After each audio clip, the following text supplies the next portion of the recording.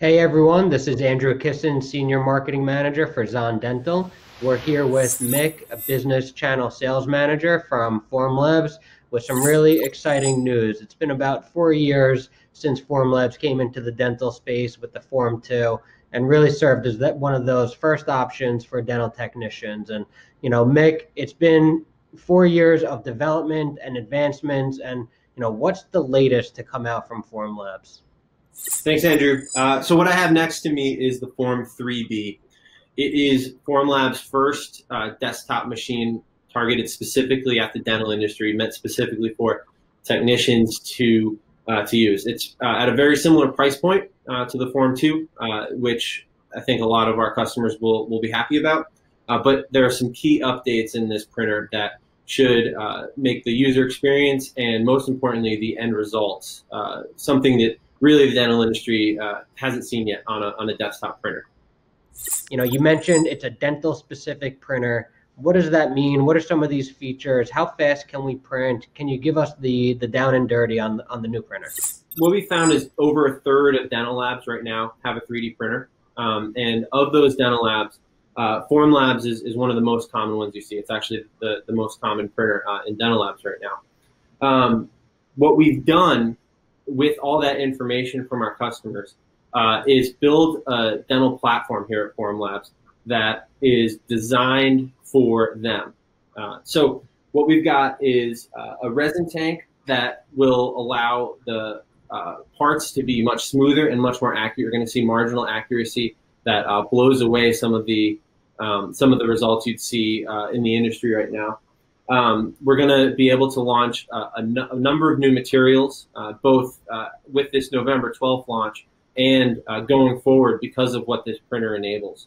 Um, you're going to see uh, resins developed in our own resin producing factory in, in Ohio. We, we acquired Spectra photopolymers. Um, and as part of that, we're going to be able to really jumpstart the development of resin specifically for the dental industry.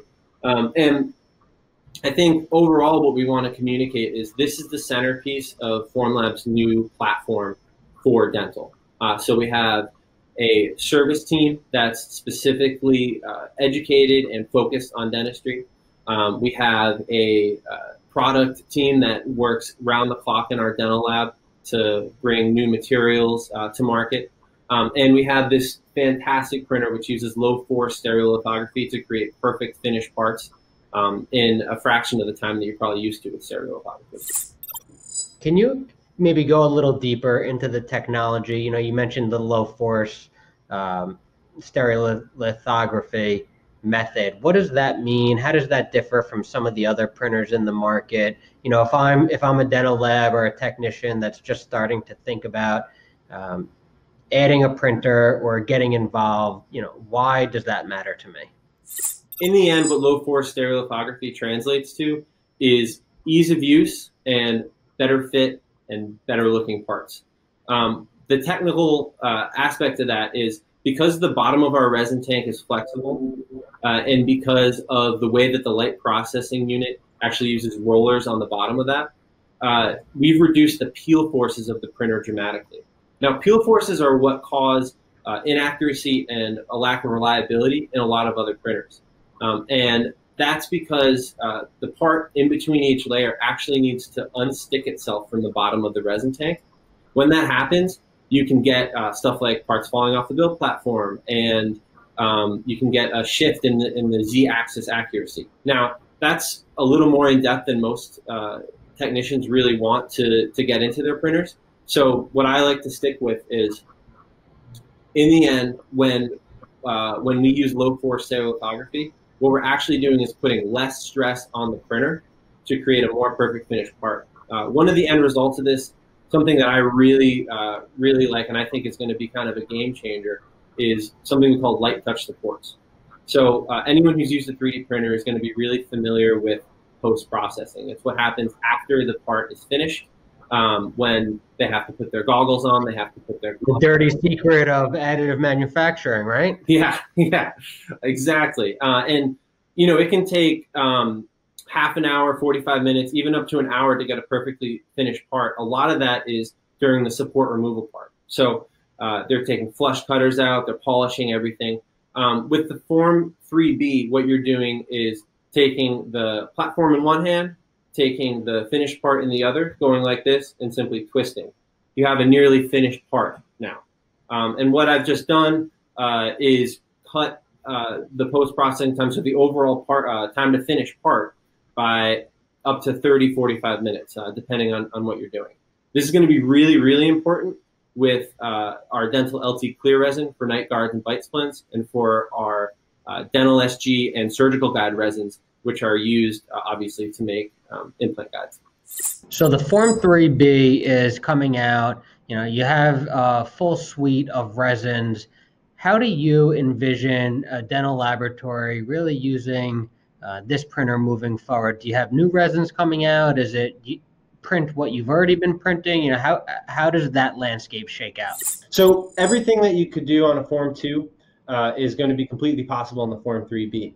But because of the new technology, uh, in the printing process that I referred to earlier, low force stereolithography, we're going to be able to really use this as a springboard uh, for new exciting uh, indications as we go down the line. Um, some examples uh, that were that we've introduced recently that should really uh, see a, a, great improvement right away um, are things like uh, night guards and bite splints. Uh, we're seeing clarity that really wasn't achievable on the Form 2. that's on the Form 3. Um, another feature that uh, is going to be noticeably different for users of the Form 2 uh, is something called light touch supports. So what that means is rather than spending 25, 30 minutes of the uh, of the printing process after you're actually finished printing, putting your goggles on, putting your gloves on, and removing the supports, uh, it's simply a uh, put one half of the part in one hand, put the other half in the other, and twist off. And you have what's uh, almost essentially a finished part right there. Um, and we're able to do that because what we've done is reduce the peel forces during the printing process to create a much reliable, much more reliable printer, a much more accurate printer, a much smoother finish, uh, and as I just explained, uh, a much easier post-processing experience. So labs can theoretically have a better workflow, more productive because they're, you know, not only is their time being reduced, but the cleanup doesn't sound as intensive as, as it might be today a lot more productive. Uh, when when it comes down to ROI, labor is a huge, huge part of that. Uh, whether we're talking about 3D printing or not, um, and within the 3D printing workflow, we've reduced labor significantly. But also, uh, sometimes it's about more than ROI. Sometimes it's about 3D printing just not being a pain in the butt, and that's something that we've also focused on. We want this to be a tool to help technicians. We don't want this to be a responsibility that they have to go to. We want to be driving their business forward. So ease of use, plug and play are always uh, big words that get thrown around in the lab space of, hey, I'm, I'm buying CAD CAM. Is it plug and play? How easy is it? Tell, tell us what's involved. Yeah, so you should be able to use the Form 3B uh, within 10 to 15 minutes of receiving it in the box. Um, there's a self-guided setup uh, that takes, uh, you know, probably three or four steps. Uh, it's simply a matter of leveling the printer, inserting the tank, inserting the cartridge, uh, and you're pretty much good to go. Um, and as far as switching materials out, for instance, if you want to go from a model printing workflow to, let's say, a, a surgical guide printing workflow, that's a matter of removing the tank, putting a new one in, removing the resin cartridge, putting a new one in, and pressing go. So, uh, so a lab that has theoretically 20 boxes or 20 bottles of resin right now for their Form 2, they're interchangeable in, in this one. Yep, the Form 3B uses the same resin cartridges as the Form 2, so they're backwards compatible. All right, now tell tell me about your digital denture workflow. Where are we? What are we doing next? You know, what should we be looking forward to? Yeah, so digital dentures is a huge uh, buzzword because it makes sense.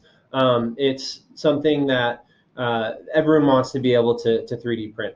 Um, and what we have right now is a suite of four different base shades and seven different tooth shades, all available for printing. Now, uh, without going too in depth, um, essentially you'll print them separately, and then you'll actually use the resin from the uh, from the base uh, put it in the sockets, and you'll also have the, the tooth, uh, the set of teeth that you printed. You'll be able to just stick them together, light cure them, um, and then you're ready to finish them and send them out.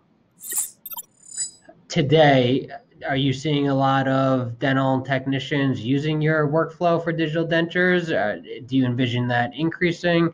You know, um, what do you think the next steps are for for Formlabs? Well, I think dentures is really something that we've developed with an eye to the future. Um, people are more interested in dentures than just about any other workflow because I think it, it makes a lot of sense to them. At the same time, um, the uh, the indication that we actually see the uh, vast majority of our use on is uh, simply uh, removable labs. Um, just over 60% of our uh, of our printing, dental printing that gets done on the printer is for removable dies. Um, and dentures we see growing, uh, but I would expect to see that uh, really shoot up in 2020, 2021, and beyond. Uh, as far as what we're looking at um, for the moment, it's really replacing those traditional workflows with a much more efficient uh, and accurate process. 36% of dental labs right now have a 3D printer. And what they're able to do is uh, twofold. They're able to cut down on a lot of the traditional workflow, a lot of the mess and time um, created by their traditional workflows, and whether that's uh, making, uh, whether that's using impressions and using a, a messy alternate workflow, um, or whether it's uh, actually creating like surgical guides by hand. Um, what we've seen is a reduction in time and a reduction in, in cost of those. Um, a lot of those labs are turning to 3D printing because they're getting calls from their accounts. Their accounts have intraoral scanners, and they want to be able to send them digital files. Um, without a 3D printer, it's very di- difficult for a lab to step in and say, yes, I can, I can complete your digital workflow. So we're really enabling labs to, to keep their the business of the accounts that are going digital and to get new business um, for those uh, for those digital doctors who want to send them work. Um, as far as which workflows uh, are easily addressed, um, I think that the low hanging fruit in terms of ROI has to be in the biocompatible appliances uh, surgical guide printed on our printer, um, you know, a simple single implant case, you can do that for about two to three dollars worth of material in some cases. Um, and what we're seeing there is a massive opportunity to cut down on the cost of the traditional workflow and move to a uh, simple and cost-effective way to uh, to maintain business for those digital doctors. So, what about the uh, the build plate? How does that differ from the Form 2 uh, to your new printer? Is it bigger? Is it the same? You know, what what kind of specs are we looking at for a lab that's, you know, hey, I'm, I'm really interested.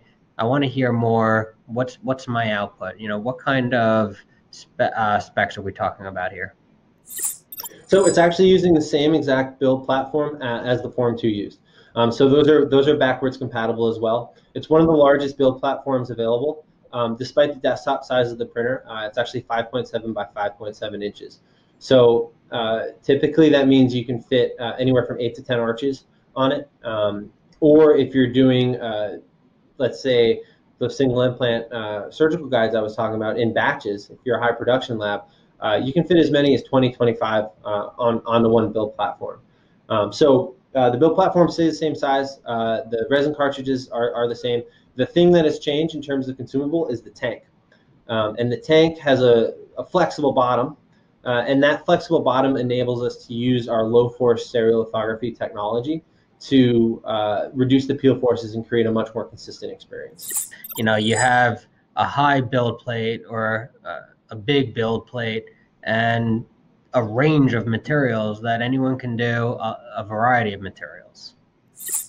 Yeah, absolutely. So it's uh, compatible across all our workflows. We have, um, let's say, a castable uh, wax workflow that works for uh, RPDs, uh, frameworks. Um, we have a uh, surgical guide workflow, a night guard and bite splint workflow. Uh, as you mentioned, digital dentures, um, as well as our bread and butter, which, like I said before, the, those dental models, removable die models, and um, and ortho models, study models really we've covered the gamut of, of what is possible with 3D printing in dental with this machine. Um, and we have everyone from uh, small one to two person labs to large production labs using our printers. One of the great things about this is that uh, you're looking at a printer that's just $5,000 uh, in, in upfront cost. Um, so it's a scalable solution. We see large production labs uh, have anywhere from five to 10 of these uh, working on different indications at a given time. Uh, so when you're when you look at it that way, um, it's really not a choice between desktop and, and production. It's a choice between desktop or, or a cell of desktop machines. And either way you slice it, uh, Formlabs really comes out as the affordable option. So what about support, right? I'm investing 5000 um, you know, my printer goes down two days later, or, you know, God forbid I'm having uh, an accuracy issue. What happens now that a customer has the printer and they need help? Yeah, great question. So, as I mentioned at the beginning, uh, the Form 3B is really the flagship product in a dental launch uh, that Formlabs is doing today on November 12th. Um, now, what this dental launch consists of is uh, the announcement of a dental business unit. Um, at Formlabs, uh, we have about 35 professionals from product to marketing to sales to service fo- focused exclusively on dental here. Um, we have uh, a uh, entirely new printer, as you can see here. Um, and then we also have the dental service plan. Uh, dental service plan is a really key component of, of what we're able to offer because, as we all know, dental requires a, a different mindset. Um, the level of service that uh, your average technician needs on a printer uh, is, is pretty high because they're relying on this printer day in, day out to actually produce results for their business. Um, if this goes down, uh, that's that can be a major concern. Uh, and so we have these uh, specifically trained support technicians um, led by a, a, dental service dental services professional um, who's been in the industry for uh, for over 20 years, um, leading a team of uh, of specialists who will uh, be able to proactively onboard all new dental customers. they'll be able to check in on laser health uh, as the printer goes along. Um, we'll be able to educate on specific dental workflows, like how to orient a part that's being done in castable wax, for instance, versus how to orient a surgical guide. Um, and I think overall, what we want to show is that uh, because of the specific needs of a, of a dental technician, Formlabs has really turned uh, its eyes and ears uh, and made sure that we can support them the way that they need to be supported. You know, I think that's great to hear from from a lab company, from a distribution company. You know, it seems like a lot of printing companies stumble across dental and then realize how big the opportunity is and you know where the market might be going. So dedicating an entire business unit uh, to really fit our our customer base, I think will deliver a home run for customers. Yeah, absolutely, and we're doing that with our people, and we're doing that with our product. Uh, one great thing about this machine is that it has a what we call a light processing unit. So all the sensitive optical components of this printer are actually located within one uh, stainless steel metal box. And if there is uh, an error in with, within that optical unit, it's actually really easy. Probably takes two to three minutes to remove that light processing unit and replace it with a new one. You can have them on hand, uh, or you can just get them uh, uh, sh- shipped to you by us. Um, so stuff like that really reduces the downtime and uh, takes the headache out of supporting uh, technology, which is to me, as I've talked with dental professionals around the country, really a major blocker in, in getting them to adopt technology that they know can be really helpful. They just don't want to deal with the headache. So we're really trying to take the headache out, whether it comes to post processing, supporting the printer, or educating about the dental workflows. Yeah, and I think anytime we can streamline the workflow and take the pain out of it for the customers, that's a happy customer. It's a, it's a good situation for everyone. Mik, absolutely. Mik, we really appreciate your time on, on Tech Talk. We look forward to seeing what comes out of Formlabs next. It's been four years of innovation and, and excitement, and I'm sure great things to come uh, moving forward. Yeah, stay tuned. Thanks so much, Andrew.